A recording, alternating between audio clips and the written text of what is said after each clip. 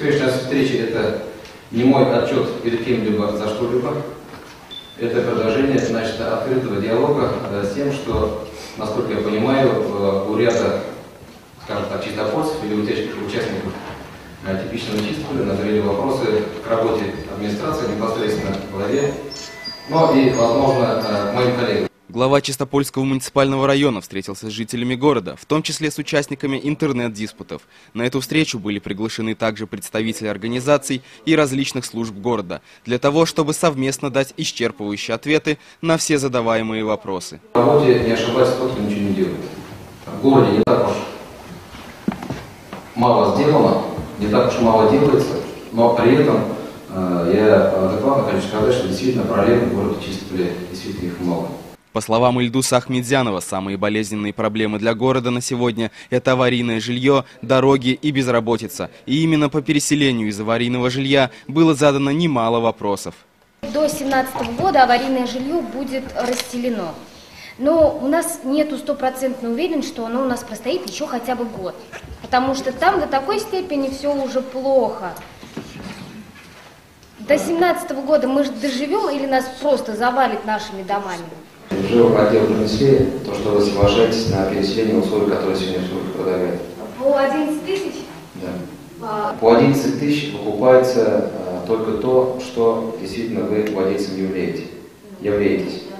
А, взамен вам предлагается квартира сегодня а, соответствующая санитарным нормам, которые сегодня в городе есть. То есть по количеству ваших жильцов, а, вашей семьи. А, причем вторую часть квартира, в которой вы заселитесь, вы можете вообще за нее не рассчитываться. Но единственный здесь момент. Вы, собственно, например, в новой квартире будете на ту долю, на которую вы сегодня имеете. Остальное, я говорю, остальное будет доля э, государственного жилищного фонда. При этом, э, если э, по доходам вашей семьи вам не будет средств хватать для того, чтобы рассчитаться ну, с этой оставшей разницей, никто из этого дома, квартиры, извиняюсь, никто выселять не будет, и ваши дети, ваши наследники будут иметь право в этой э, квартире жить. Поэтому э, я считаю, что никто ваших прав не ущемляет. Но и здесь подчеркну, при э, доходах вашей семьи, ваших родственников, позволяющих выкупить эту, э, эту часть, э, вы ее выкупаете и становитесь полноправными собственниками. По словам главы, семья в такой квартире может проживать долгие годы, передавая ее своим детям по наследству. Единственное ограничение в том, что продать ее будет невозможно, пока определенная доля находится в собственности Государственного жилищного фонда.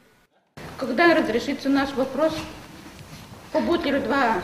Я, да, я уже сразу по фамилии понял ваш вопрос, но на самом деле не смешно.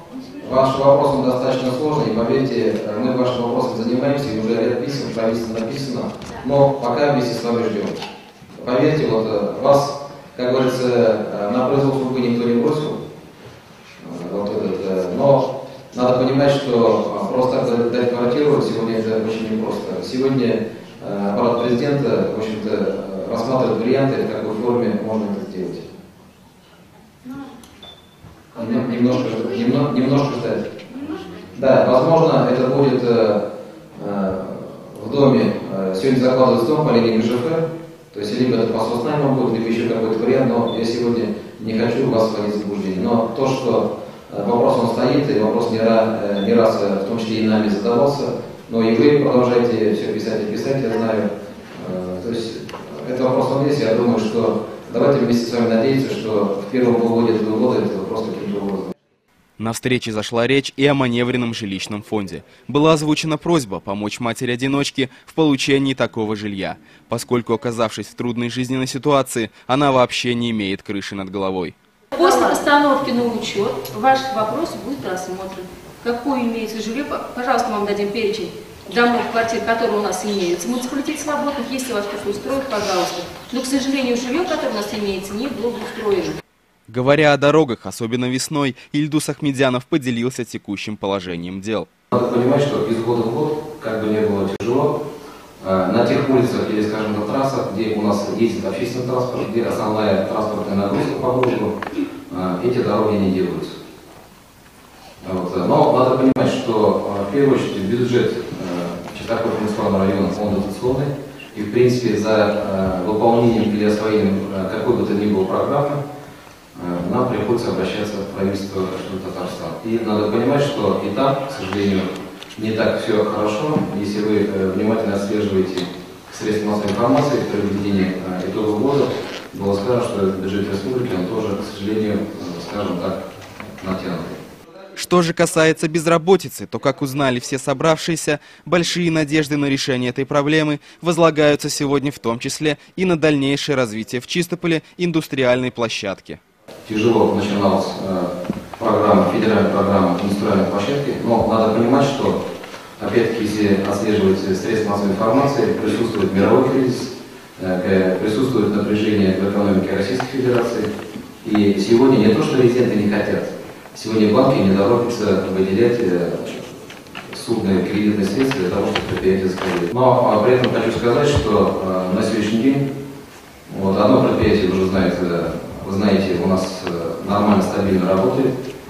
Еще два предприятия уже, в принципе, там ограждение сделали в этом году начинают. И еще два предприятия в этом году планируют начать свои работы. Поэтому э, я считаю, что э, и в этом плане у нас э, перспективы достаточно они открытые. Если у кого-то есть мнение, что на эту площадку могут или должны заходить только иностранные там и ну, да. международные предприятия, это тоже ошибочно. Если у кого-то есть какая-то бизнес-идея, и для и чистопольцы могут успешно на эту площадку зайти и создать свое предприятие. На организованной встрече прозвучали десятки вопросов, касающихся разной деятельности города и района. Одного из пришедших на встречу заинтересовало состояние сельского хозяйства. По сравнению с 2011 годом, 2013 год, у нас сокращение поголовья КВС на треть и урожайность в два раза.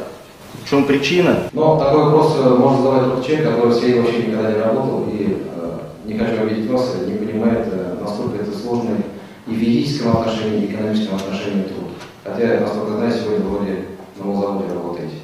И там сегодня тоже нелегко.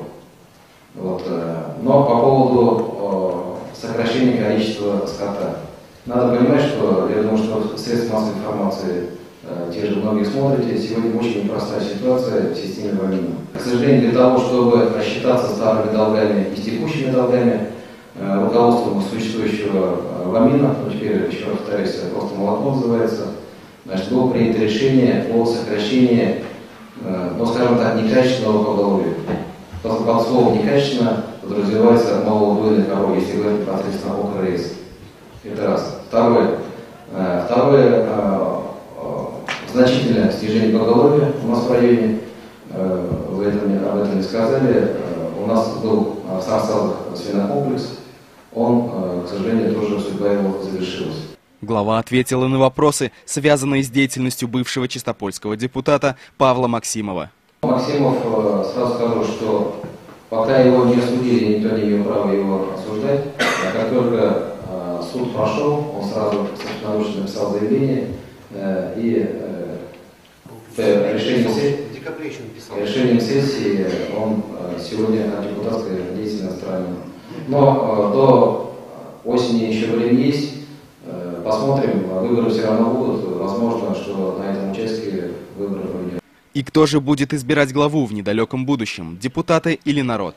Некоторые из собравшихся предложили внести в главный документ города изменения, касающиеся предстоящих выборов в 2015 году. Говорят, что э, чистопольцы никак не участвуют в выборе главы, я с вами здесь не согласен.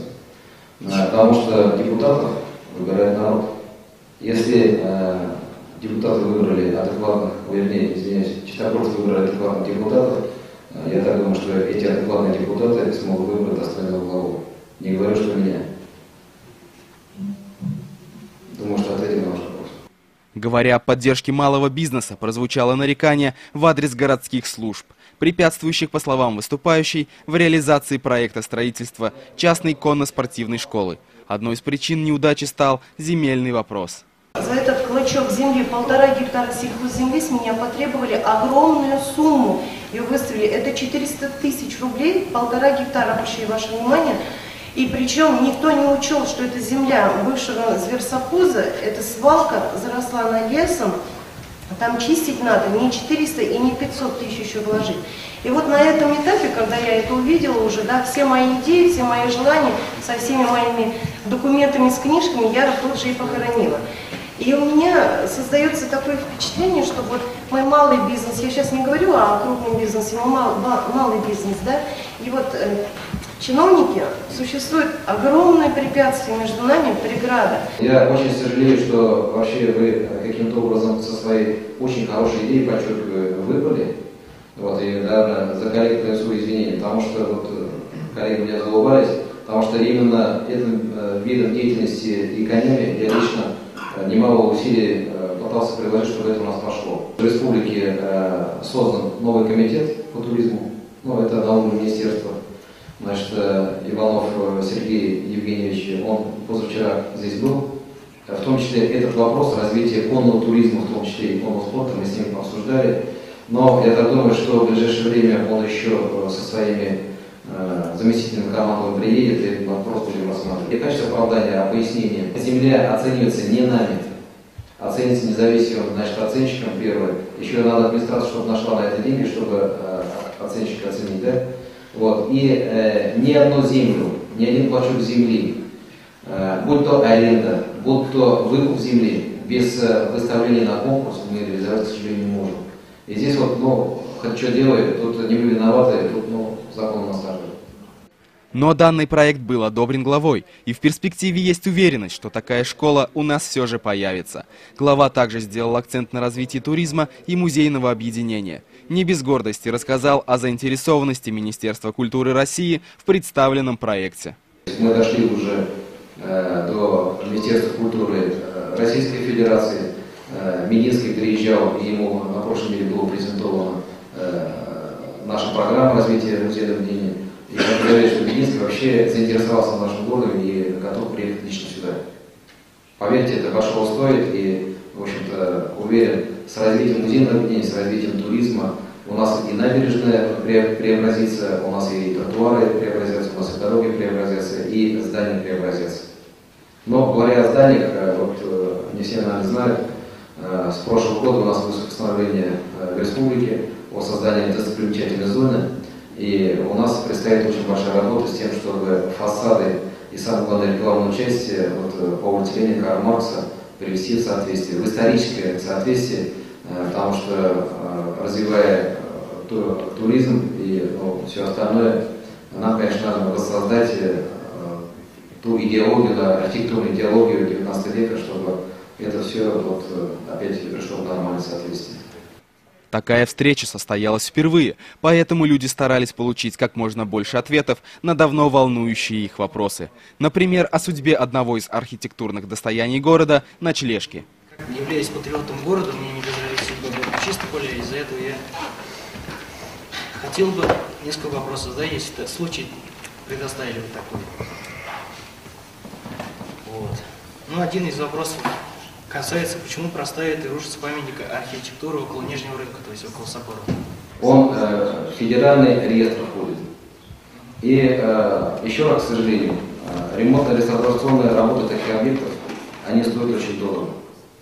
Первый хозяин, который у э, муниципалитета его выкупил, Абдуль Талат Михатович, э, поняв, что э, восстановление очень дорого будет стоить, э, достаточно успешно его продал сейчас Они говорят, э, по той цене, которую они приобрели, это в пределах 3,5 миллионов они готовы продать. Поэтому я открыто говорю, если вы называете себя патриотом города, вот э, Версал у нас этот вопрос не раз поднимал, я предлагаю найти совместно с нами, вам найти спонсора, который бы готов был осилить этот объект, потому что не только для вас, для нас, для всех чистопольцев этот объект действительно э, это изюминка, его надо восстановить. Э, но я при этом хочу сказать, что мы себе этот вопрос не снимаем, мы все равно этим будем заниматься.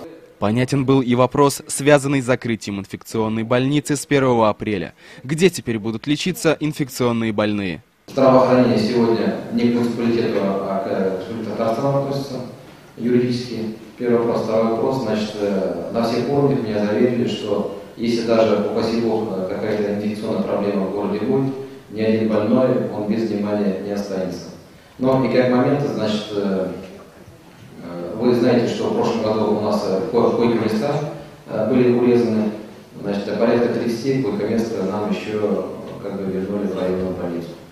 Но и э, сегодня дано задание э, главному врачу Ставропольского района с тем, чтобы на случай значит, таких вот, э, как вы сказали, опасений э, были, э, скажем, палаты или территории районной больницы с тем, чтобы она могла отсекаться от остальных Одного из участников интернет-диспутов очень интересовали вопросы, связанные с дальнейшим благоустройством родника Аксакал и с развитием в чистополе футбола. Говоря о спорте, глава подчеркнул, что сегодня в городе для всех желающих открыты спортзалы учебных заведений и спортшколы.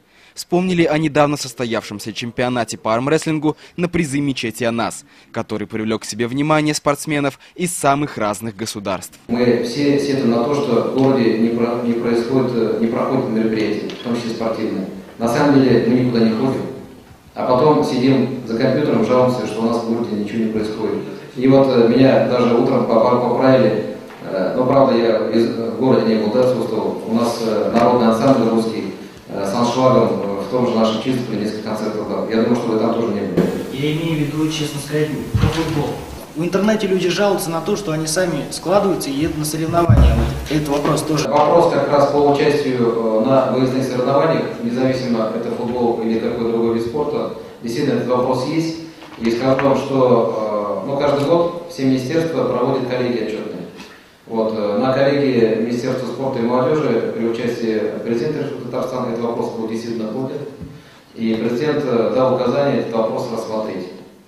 Окончательного решения пока, к сожалению, нет, но поверьте, значит, и муниципалитеты, и работники министерства этот вопрос подняли. Потому что действительно не только у нас в каждом районе этот вопрос стоит, и, к сожалению, молодые ребятишки при выезде, там, ну, понятно, что папа, мама скидываются, или спонсоров ищут, этот вопрос, он, ну, в некоторой степени и финансовый, и морально он тяжелый для этих. То, то, что касается паспорта, я считаю, что в Чистополе у нас именно по футболу активисты есть. Иван Грачев, я думаю, что вы его знаете, он достаточно активно этим видом спорта занимается. Но, к сожалению, по покрытию пола, значит, несколько лет нам уже покрытие пола, извиняюсь, поля, значит, обещает, но каждый год мы возобновляем этот вопрос, он тоже не дешевый. Вот, и выясняется, что покрытие поля футбольного, она не просто, потому что нам сегодня придется поле, вообще его, ну, если так что, демонтировать, делать там дренаж и уже стелить новый. Но надо понимать, что это очень и физически, и в деньгах дорого стоит. И, но хочу сказать, что этот вопрос он не снят. Над этим работаем. И э, не раз уже мы в Госсовет непосредственно писали, чтобы этот вопрос решился. Также интересовало отношение главы к ведению норм ГТО, имеющих свою популярность в советские времена. Недавно президент России подписал указ о ГТО, то есть готов к труду оборудования. Как вы рассматриваете вот этот вопрос? Как считаете? Двумя руками за. И планируете ли с, с, ну, с этим законом, с указом, что-нибудь в городе вот, насчет ГТО? Я думаю, школьников пионеров, что в школе Баты, что во всех школах у нас спортзал открыт, если есть желание, можно записаться. И я считаю, что нужно записаться. Вообще, я считаю, что это решение президента Российской Федерации очень правильное. Вообще, здоровый дух россиян, надо его поднимать. Я думаю, что вы с этим согласны. А вот уже в ближайшее время планируется создать инициативную федерацию «Воркаут» и в мае в Чистополе провести первое в республике первенство. Первенство республики мы проведем, одни из первых в республике. Но это еще означает, что и он по своей силе приложит, и Смирков Виктор Васильевич тоже над этим работает, с тем, чтобы, да и мы, кроме депутатов, еще и мы есть, значит, в ускорительном саду, во дворах будем устанавливать турникеты для того, чтобы ребята могли заниматься. Но было здорово, если бы вы, в том числе через тепличный Чистополь, поднимали молодежь, чтобы они тоже выходили на субботники, нашли там опоры, нашли перекладины, не, не, не только ждали от исполкома и это депутат, а сами-то давайте попробуем что-нибудь сделать. Будут созданы еще в нескольких микрорайонах спортивные площадки, можете сейчас уже посмотреть на мельничном ограждении есть универсальная спортивная площадка, там покрытие подходит под баскетбол, волейбол, мини-футбол. Также в выселках уже это они как бы строятся. И плюс три на очереди. Это кирпичный завод, значит, будет поселок Луч и дом школьников. То есть, как сказать, как уж после этого говорить, то, что у нас в городе ничего для спорта не было. Было бы желание, приходите. Сегодня вопрос главе можно задать на официальном сайте Чистопольского муниципального района, а также при личной беседе в дни приемов каждый вторник. Подобную же встречу решено провести еще раз. О времени и дате все будут проинформированы в СМИ. Если такие встречи нужны, я готов. Я, я готов встречаться, но вот э, я считаю, что достаточно у нас нормальные были вопросы озвучены. Ну, если я там или мои коллеги, мы смогли на ваши вопросы ответить, э, я, ну, я этому очень рад. Но э, я, скажем так, в некоторой степени огорчен, что ни один из админов э, чистителя сегодня решился прийти. Вот, сегодня никого никто наказывать не собирался. Давайте вот, э, друг к другу относиться э, с уважением. Вот, э, в остальных делах э, я бы еще раз э, хотел все-таки давайте больше говорить о хорошем, давайте о созидании говорить. Тогда просто, если будем друг другу чаще улыбаться, жить станет легче. Вот я бы всех вот, к этому призывал. И поверьте, вот все, я чистопольцы, никуда отсюда уезжать в ближайшее время не собираюсь. Я как в 2010 году говорил, и сейчас это повторяюсь. Все вопросы, тяжелые вопросы, которые были здесь, поверьте, э, не я, мы, вот с этой командой, э, мои коллеги, мы не знаем. Но, к сожалению, э, как вот в какой-то сказке был, да, я не волшебник, я только учусь. К сожалению, многие вопросы, как то асфальт, тротуар, жилищная проблема, капитального ремонта, к сожалению, стоит больших денег. И, к сожалению, сегодня никто, ни Путин, ни Миниханов, ни Ахмедзянов в одночасье выделить столько денег не может. Но поверьте, э, свои усилия для того, чтобы чистопольцы жили лучше и жизнь стала лучше, э, мы прикладываем. И еще один момент, я еще раз говорю, если есть интересные идеи э, по созданию какого-то бизнеса, каких-то направлений, э, конкурсов, соревнований, мы готовы встречаться, готовы разговаривать.